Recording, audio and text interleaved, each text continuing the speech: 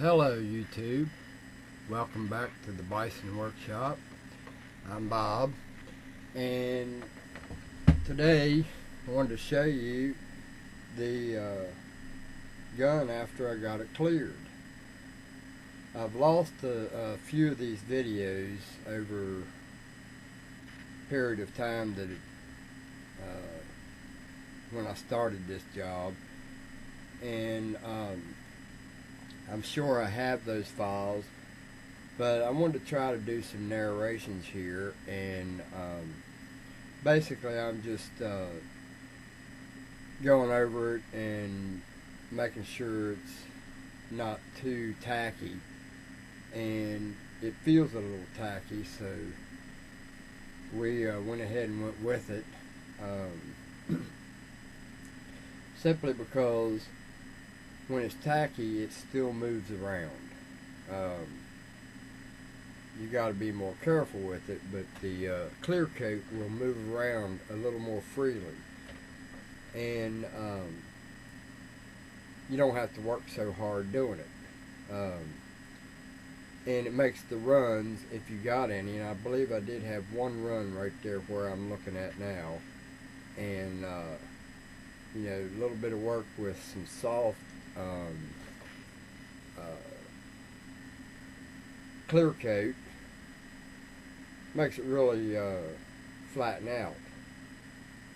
You want to make sure that your clear coat is nice and flat and even, no little clear uh, specks.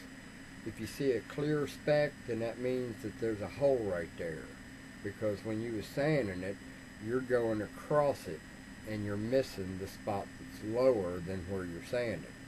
So anytime you see a little silver or little shiny spot, then that means you need to work a little bit more on it until that's just disappeared. You don't want to take it any further than just disappearing.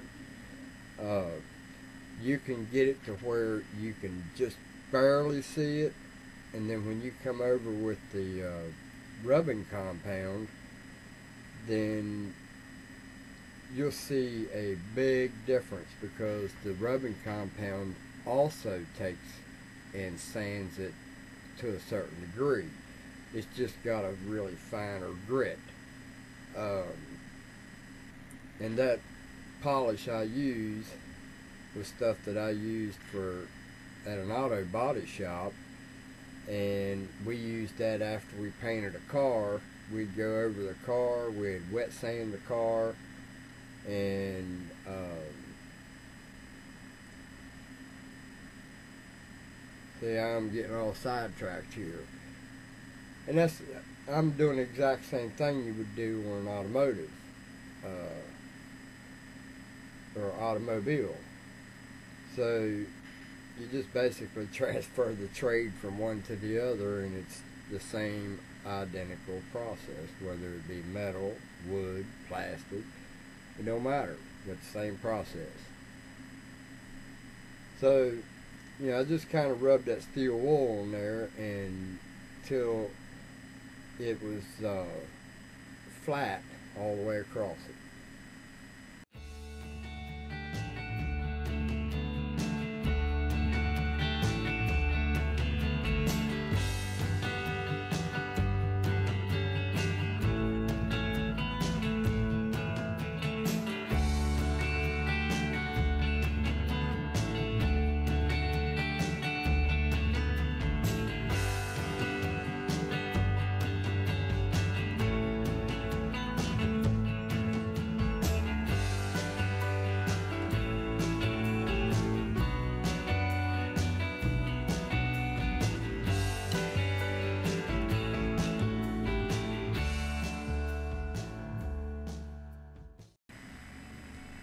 Alright, so now that the clear coat is dry,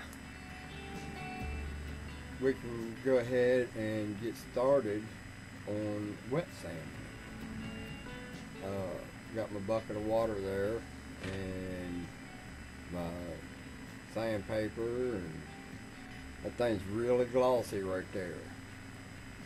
So now we're going to do the same identical thing At this time, we're going to use 600 sandpaper. And just dip it in the water and go off on some kind of a wild goose chase and then be gone for a while. What the hell? Man. Where'd you go? Oh, I had to go strip. well, dang on. Anyway, I get on these uh,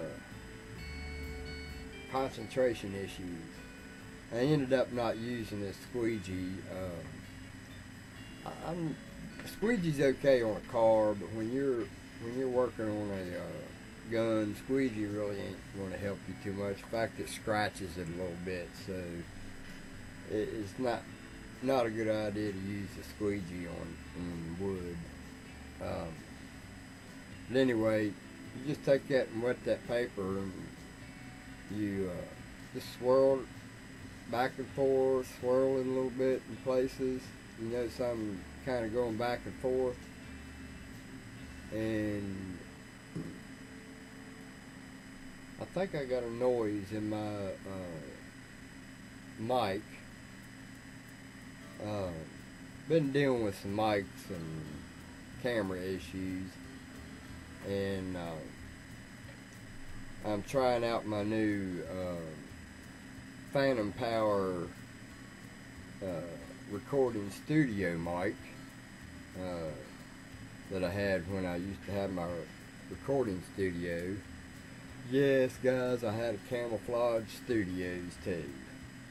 It was camouflage also. That was the theme for that for that little uh, episode. Anyway, uh, been trying it out and I noticed, and you guys can tell me what you think. Um, it sounds like there's a lot of fans going on in the background. So my mic is at, in the middle of my desk, and my computer's on the right side of my desk, and the fans are like parallel to them. So I'm thinking the echo from all the fans is really pushing into this mic, and I think you guys can hear it. Um, I hear it when I go to play it back in Media Player. But anyway, let's get back to the task at hand. I'm, I'm simply looking over it and checking to make sure there's no shiny spots. Because remember, I just cleared it, and when you clear coat, you end up with fish eye. Uh, and uh, those has got to be sanded out. Because first of all, my shop is not a dust-free environment. It, you know, if you want to do a good paint job and you don't want nothing in it, you got to have a real nice downdraft and uh, have a room that has been washed down with water and is still damp. Uh, the the uh, painting process is a pain in the ass when you're doing it for for a living. But when you're doing it for yourself, you can do it exactly the way I'm doing it. Now, I have changed. I'm moving up to 1200 sandpaper. and then we're going to go over that one more time, yet again.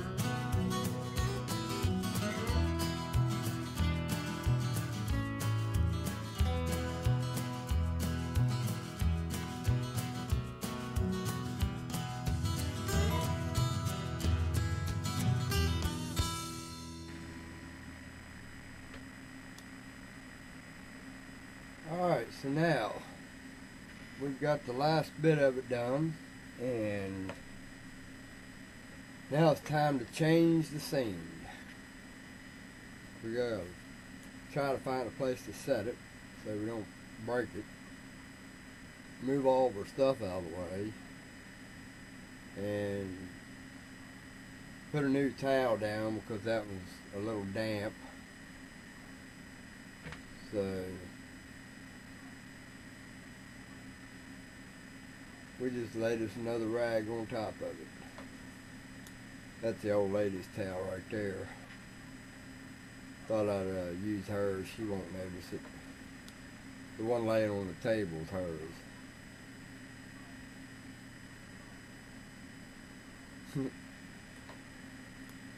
uh, speaking of her, you see that cross behind me on the uh, cabinet door? She made that for me from the scroll saw. And I got a squeaky chair. I guess I got to get ready for the day. Must have been cold. I had two shirts on.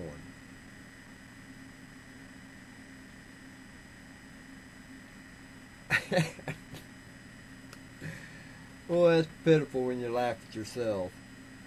I done went and changed my clothes, apparently.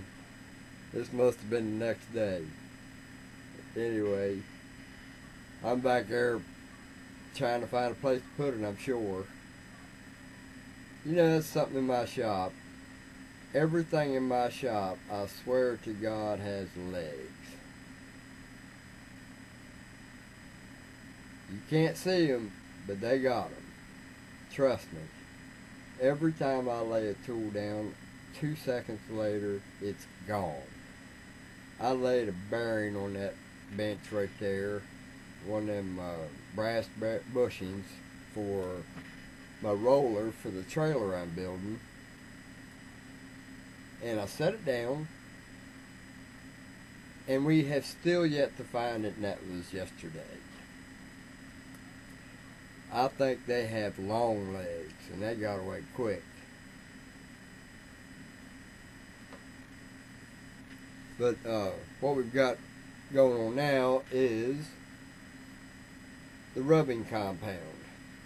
Now, I'm going to show you before. See how dull it looks? I did notice a shiny spot there. I think I went back over that after I finished it. I didn't like it, so I went over it again. That part I didn't show. but basically what I'm doing is taking that rubbing compound and just rubbing it in. Nice and firm, but not to where you're heating the uh, polyurethane up. Uh, you want to put a little warmth on it and it will make it flow nice but you know just a touch. You don't want to get crazy. And then you take a nice dry towel over top of that thing look at that shine. Ain't that pretty? I've always liked that style of stock. I kind of like the um, the uh, 700 Remington uh, with the black tip. I think that's just that's an awesome look and I'm probably going to end up making a gun with a black tip on it. Um, I'd just like to get a true piece of ebony and make a real nice stock. Uh, I'm saving that project for my another my next dream uh, gun, and that would be the uh, Benjamin Marauder uh, in 25 caliber. But um, basically, we just uh, kept on polishing on this thing until it was done, and um, we'll just uh, stop here because it looks like I've taken a break too.